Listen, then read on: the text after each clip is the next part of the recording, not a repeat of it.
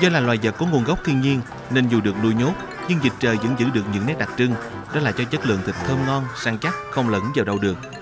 Chứ những chú vịt tầm 700 đến 900 gram này đem nướng giả chồn là ngon nhất.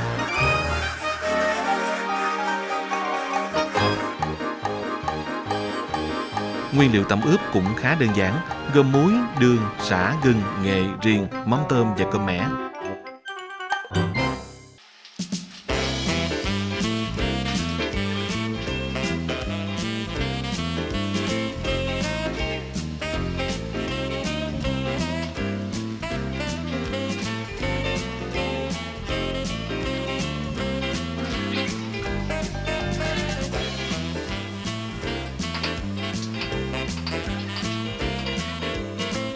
Giờ thì hãy chuẩn bị một bếp than hồng để nướng vịt thôi.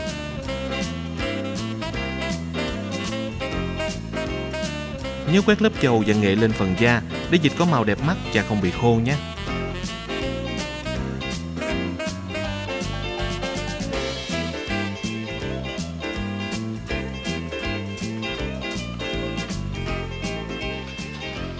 Còn chần chờ gì nữa mà không cắt vịt nướng da chồn ra và đưa lên mâm để thưởng thức.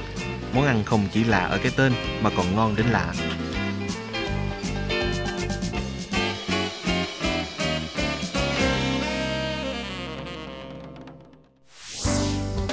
Cũng với nguyên liệu chính là vịt trời, hãy làm món thứ hai nhé. Không quá cầu kỳ trong cách chế biến, nhưng chắc hẳn cả nhà ai cũng thích món vịt trời nấu chanh muối cho mà xem.